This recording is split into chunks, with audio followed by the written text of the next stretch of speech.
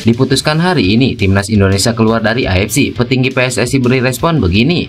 Momen perbincangan Tom Haye dan Kelvin Perdong disorot jelang kembali bela skuad Garuda. Petinggi PSSI minta Sintayong tak usah pantau Emil Audero. Sarajitu Nova Arianto agar skuad Garuda Muda tumbangkan Australia malam ini. Respon PSSI usai tagar Sintayong out menggema di media sosial akhir-akhir ini dapat restu dari keluarga Miliano Jonathans OTW Indonesia urus berkas naturalisasi. Timnas Indonesia berpotensi mainkan pemain terbaik di Piala AFF. Jadi, simak informasi selengkapnya sebagai berikut.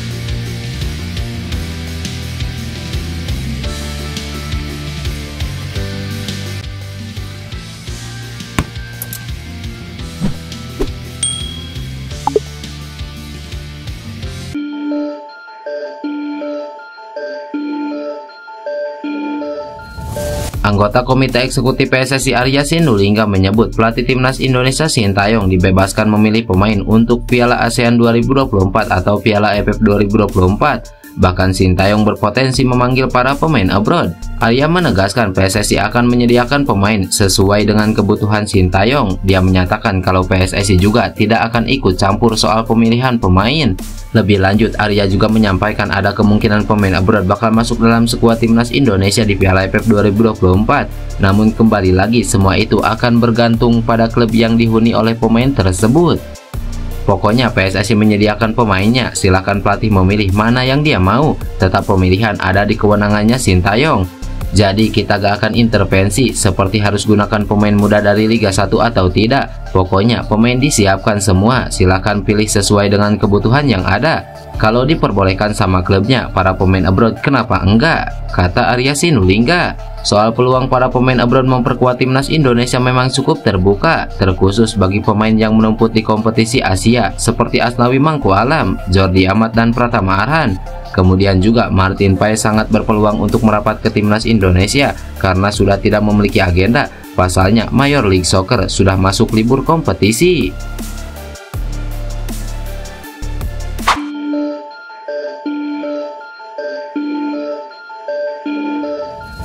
Miliano Jonathan bawa angin segar untuk timnas Indonesia. Pasalnya timnas Indonesia dan Miliano Jonathan sudah dapat restu dari pihak keluarga. Hadirnya Miliano Jonathan seakan membuat lini serang timnas Indonesia lebih ganas ketimbang laga-laga sebelumnya. Pria keturunan Depok itu tengah ramai disebut akan jadi bagian penting skuad Sintayong mengisi sisi sayap kanan. Miliano juga bisa diplot sebagai gelandang serang jika dibutuhkan sekaligus jadi duet Tom Haye.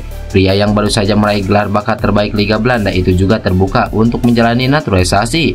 Ditambah lagi, dukungan penuh datang dari keluarganya yang ingin lihat Jonathan main di timnas Indonesia. Memiliki kaki dominan sebelah kiri, Miliano sudah mencetak 8 gol untuk 11 laga plus 3 asis bersama PTC. Dikutip dari ESPNNL, Miliano juga mengakui sudah mendapatkan telepon langsung dari pihak PSSI. Dalam waktu dekat, Miliano mungkin akan datang ke Indonesia untuk bertemu Erick Thohir. Willy Jonathan yang merupakan keluarga sang pemain punya harapan besar agar bisa diterima PSSI. Menurut Willy, pemain 20 tahun itu akan sangat cocok bermain di posisi striker. Sama kami uh, warga Depok keturunan 12 warga sangat bangga manakala Mediano bisa main untuk PSSI.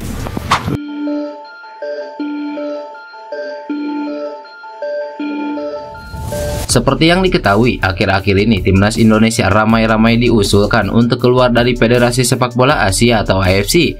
Dorongan itu salah satunya datang dari komentator sepak bola Indonesia Justinus Laksana atau Coach Justin lewat akun X miliknya. Keinginan agar keluar dari AFC setelah Bahrain mengajukan perpindahan lokasi saat menghadapi Indonesia. Justin menyebut, jika Indonesia harus mempertimbangkan untuk berpindah ke Oseania jika AFC memenuhi permintaan Bahrain atau mendirikan AFC tandingan yang terdiri dari negara-negara non-timur tengah. Menanggapi permintaan tersebut, petinggi PSSI Yunus Nusi akhirnya buka suara. Yunus memaparkan permintaan Bahrain kepada FIFA untuk memindahkan lokasi pertandingan kualifikasi Piala Dunia bukan hal baru dalam sepak bola. Meski demikian, dirinya menegaskan jika PSSI tidak memiliki rencana untuk keluar dari AFC. Menurutnya, PSSI berkomitmen untuk menilai segala hal secara objektif. PSSI menilai bahwa keputusan untuk keluar dari konfederasi seperti AFC tidak bisa diambil dengan didasari emosi.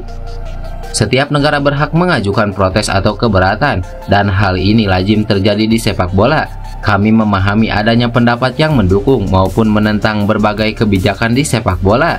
Jadi kami tegaskan belum ada pembicaraan atau diskusi di internal PSSI terkait kemungkinan pindah konfederasi. Jelas Yunus Nusi.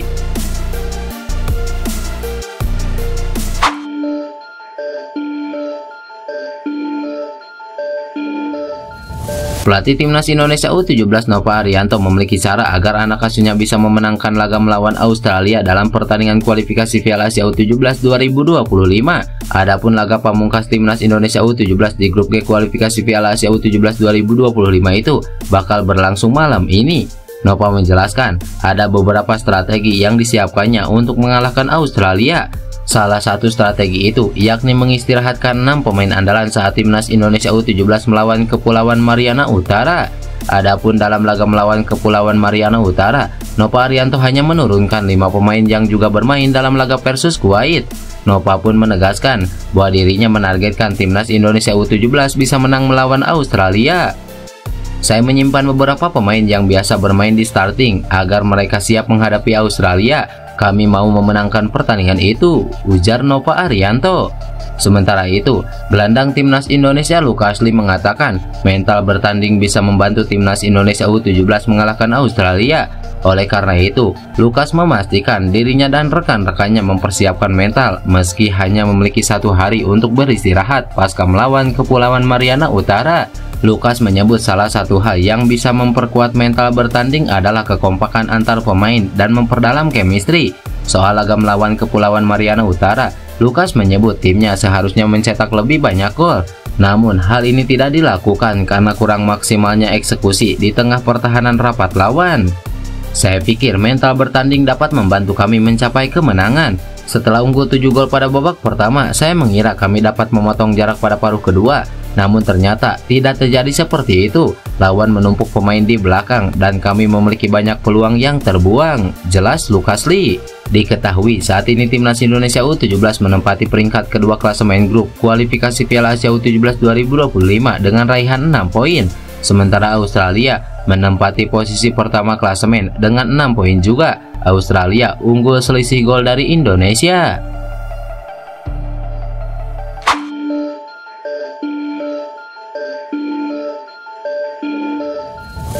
Anggota Esko PSSI Arya Sinulinga meminta pelatih Sintayong tak perlu lagi memantau langsung kiper keturunan Indonesia Emil Audero.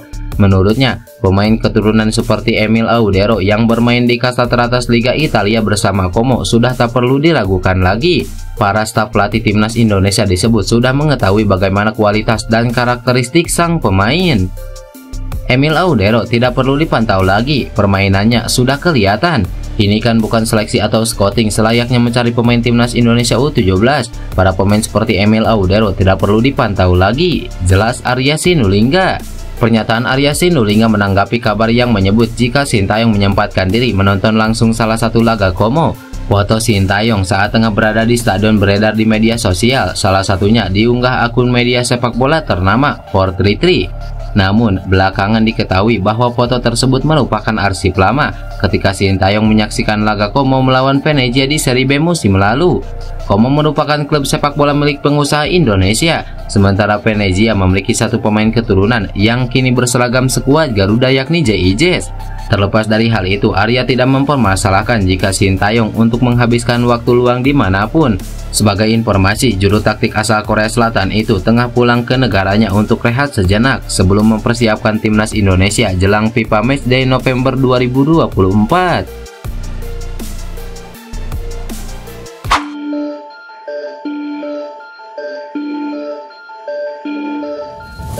Anggota Esko PSSI Arya Sinulinga angkat bicara soal ramai kabar desakan pelatih timnas Indonesia Sintayong agar mundur dari kursi pelatih. Seperti yang diketahui, tagar Sintayong out sempat viral dan ramai di media sosial seusai timnas Indonesia kandas dari Cina. Arya mengatakan bahwa timnas Indonesia kini sangat membutuhkan kekompakan untuk bangkit usai kekalahan dari Cina. Arya menegaskan bahwa supporter timnas Indonesia juga harus kompak mendukung skuad asuhan Sintayong demi menjaga asa lolos ke Piala Dunia. Saat ini kita butuh kekompakan, jangan dipecah-pecah dulu ini itu. Jangan dulu, kita pilih semua kompak dulu, jangan dulu kita sintayang out. Kita butuh kekompakan karena waktu kita sudah mepet, nanti pelatih jadi stres. Kita yang rugi juga. Sekarang kompak saja dulu. Jelas Arya Sinulinga.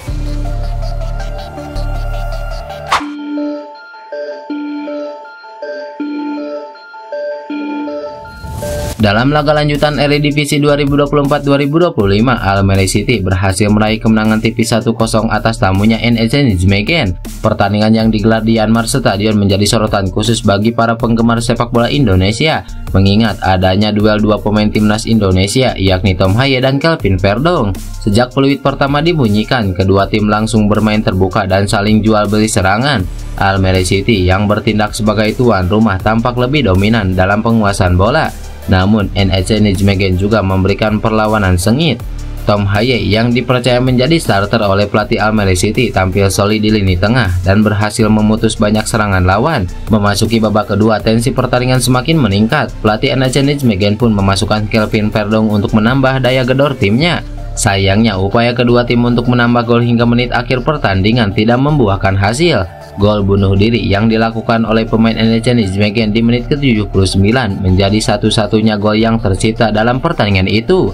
Kemenangan tipis ini menjadi modal berharga bagi Almere City untuk menatap pertandingan-pertandingan selanjutnya. Sementara itu, NEC Nijmegen harus mengakui keunggulan lawan dan kembali ke papan bawah untuk memperbaiki performa tim.